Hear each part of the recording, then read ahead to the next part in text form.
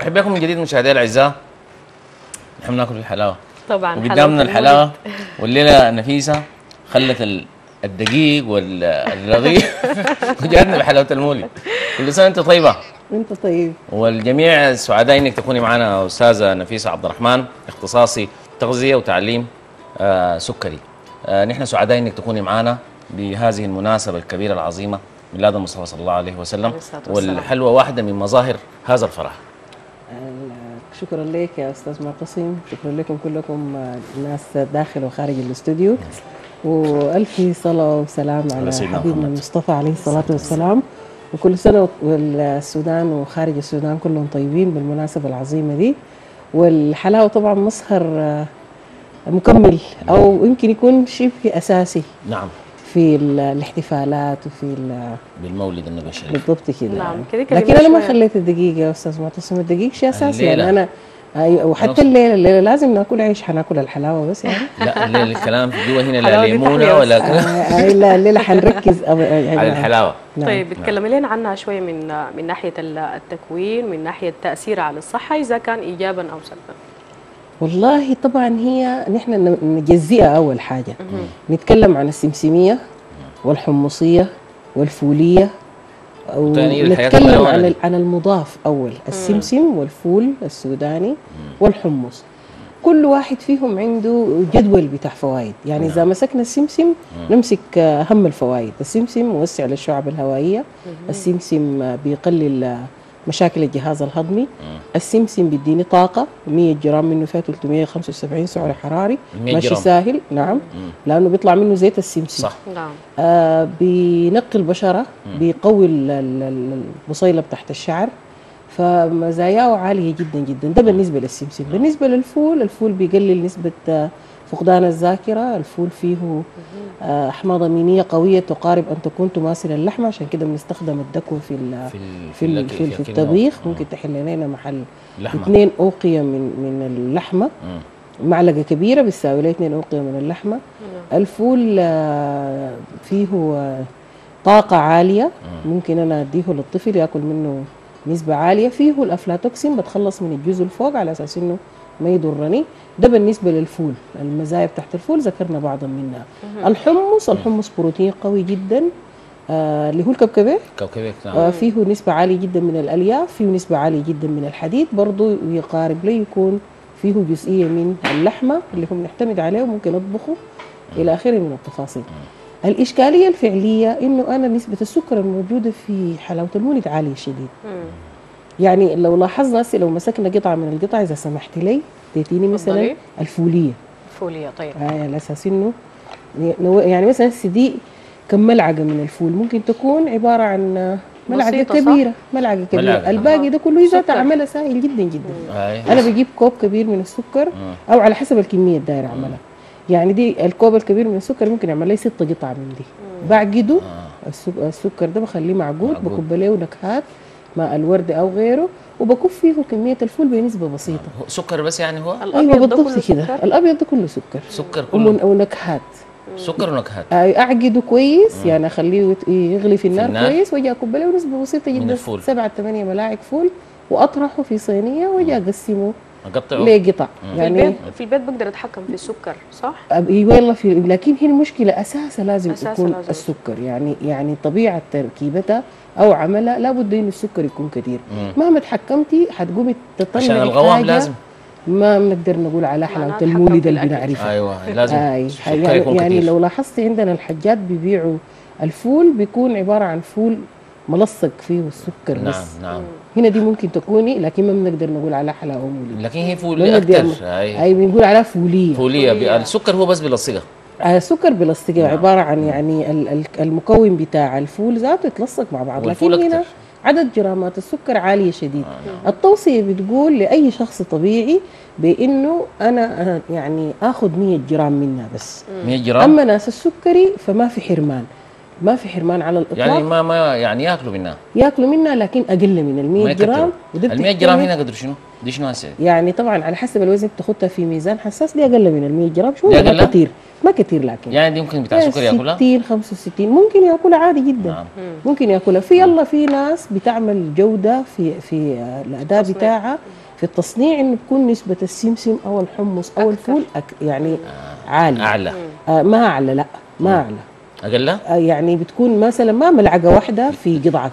ممكن يعني يكون مقصودات ملاعق أكثر شوية من النسبة ل أكثر يلا آي. هنا ممكن أنا انقي الفول أو أ- أخذ ال- أشيل الجزئية بتاعت السكر دي أحاول أتخلص منها.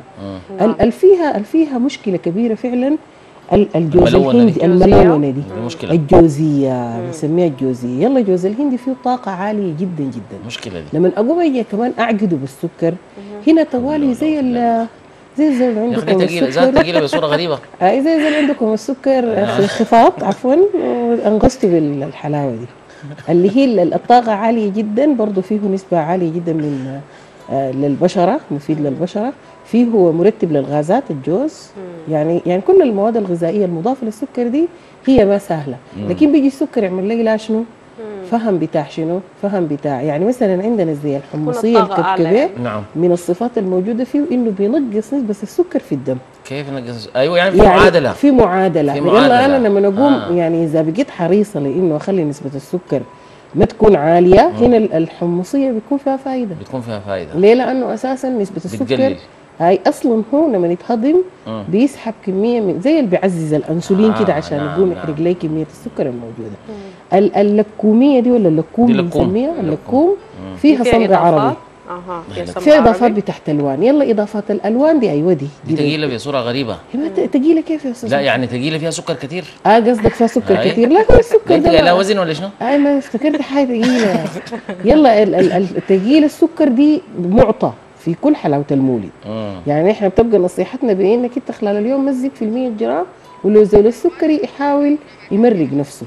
اللكوم فيها الصمغ العربي الصمغ العربي بيعمل على ترتيب الغازات الصمغ العربي بيعمل على آه، توازن البولينا. السكر عنده تا- تأثير؟ وبيعمل على محاولة تعزيز البنكرياس بقدر المستطاع لإخراج الأنسولين. فبتبقى اللكوم دي إذا ما فيها نسبة سكر عالية والصمغ العربي ممكن. فيها عالي ممكن تعدي لها طيب. لأنها تكون فيها فايدة نعم. غذائية أعلى من الباقي نعم أستاذة نفيسة يعني إذا تكلمنا عن الإضافات وحلاوة المولد في في أنواع منها فيها إضافات يعني الألوان دي خاصة يعني في في في في تقريبا حلاوة مولد بتكون للأطفال في شكل عروسة في شكل حصان نعم، دي نعم. بتكون فيها ألوان كثيرة فكلمينا عن الإضافات آه، الألوان عموما في الغذاء يعني فيها ضرر ولا بتكون الإضافات كمية الغذائية الإضافات الغذائية أو المضافات الغذائية ضررها أكثر من نفعها ليه؟ لأنها ما بتعرف تبقى حساسة معاك تبقى حساسة معاي. لابد من تناولها وبعد ذاك بشوف النتيجة.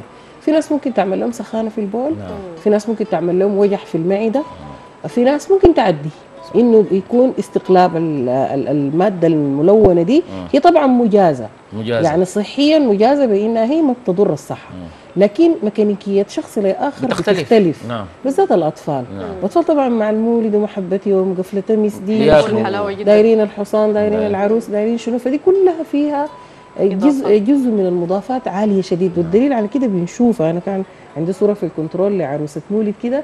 لونها أحمر. اللون الأحمر ده هو جزء يعني يمكن. مستواري بيكون أكثر من 30% للمضاف أثناء التصنيع آه نعم بعد ذاك بتيجي شكل القالب بيطلع لك شكل العروسة شكل العروسة والحصان وال- بالشكل اللي هنا أيوه بالضبط كده. يلا هنا يعني مثلا محبة كده الأطفال ممكن بعد ما يجيبوها وشنو يكسروها ياكلوها يلا الألوان دي حقيقي ضرر دي حقيقي العروس معناه عروس المولد. هاي دي عروس المولد. المعاه دي الوثيقه ولا شنو؟ ولا الاثنين عروسات.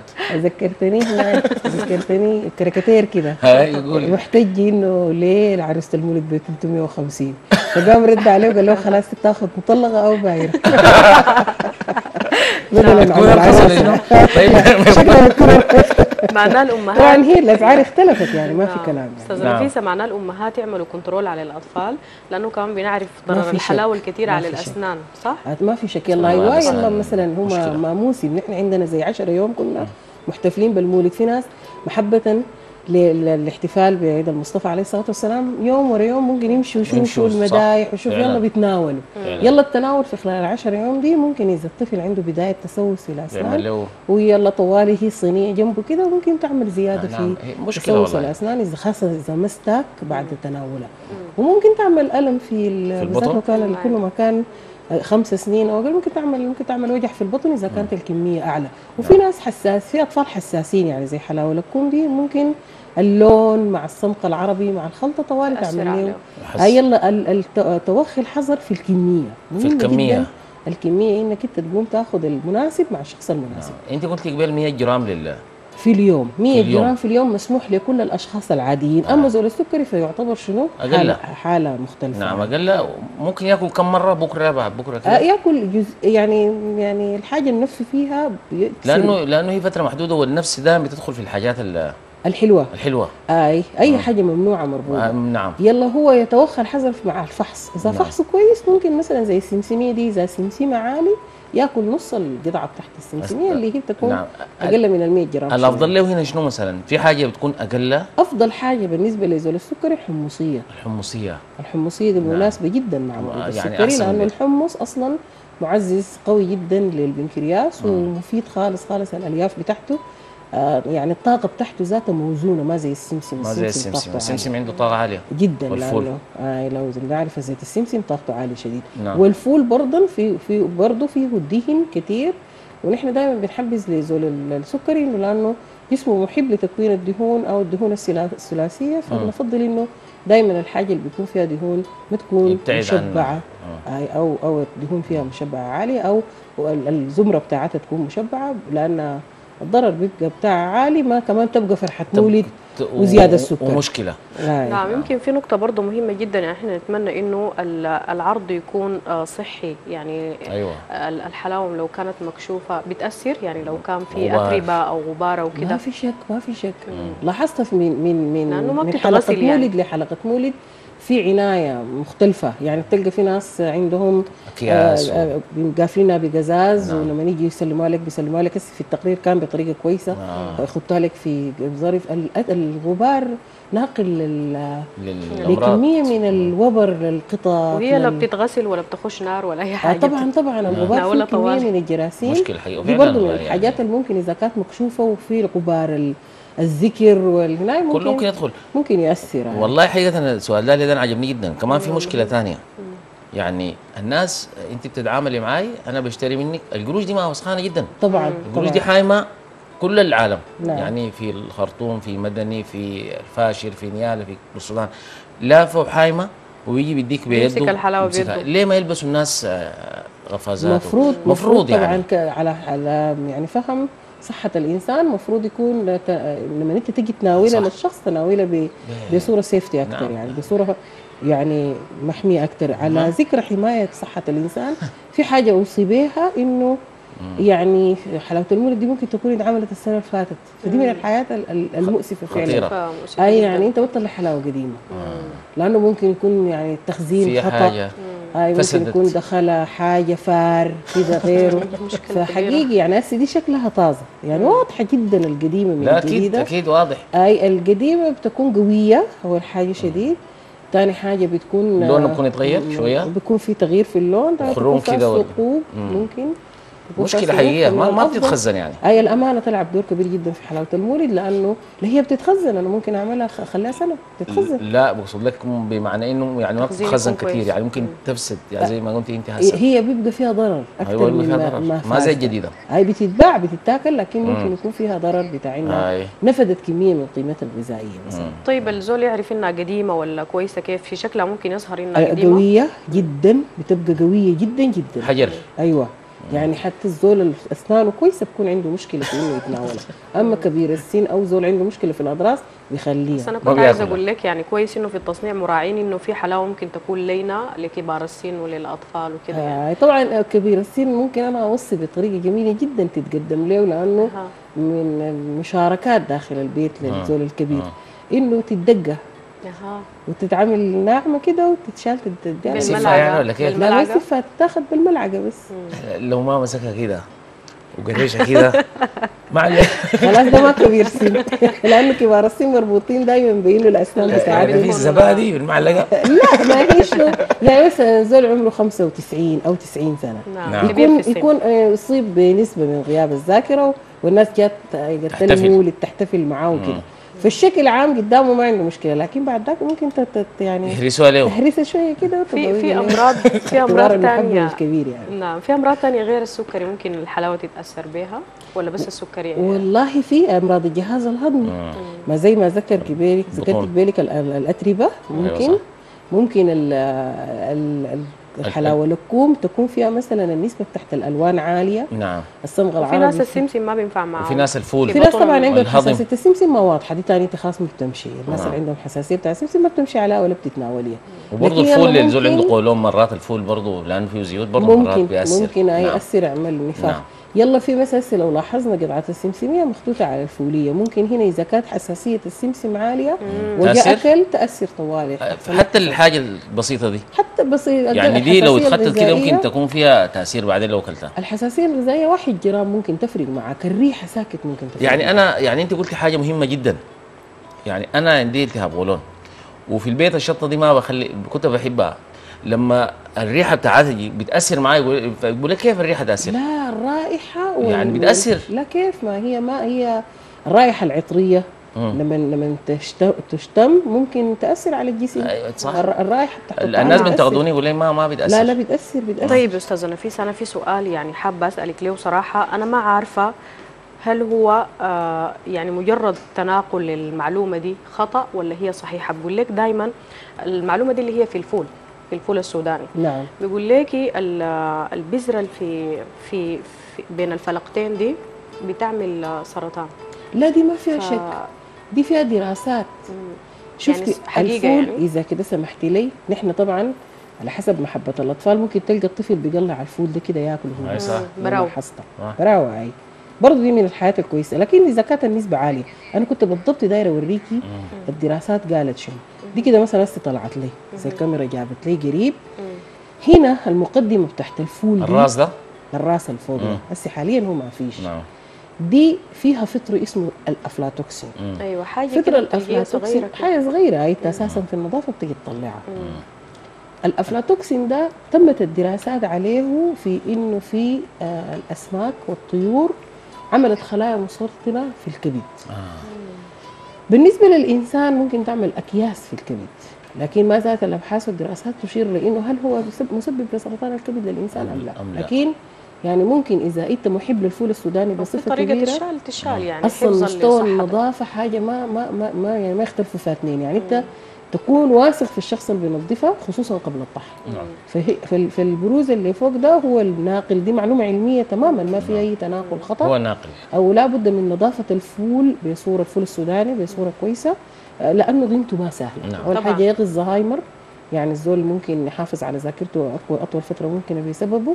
الحاجة الثانية فيه طاقة عالية. الحاجة ال- ال- الأهم من كده إنه معلقه واحدة منه تعمل بيساوي- لي اثنين اوقيه من اللحم اتمنى إنه كمان الناس اللي بتعمل الدكوة الفول دكوة يتسخن يعني يطلع ال- الحتة اللي انت ذكرتها إنه فيها أيوة، مشكلة الرأس- دي. رأس ما. كل الناس ما مضمونة يعني. يعني يا ريت- الناس قاعدة تأكل الفول من غير تعمل يتوخوا دي. الحذر نتمنى هنا يهتموا.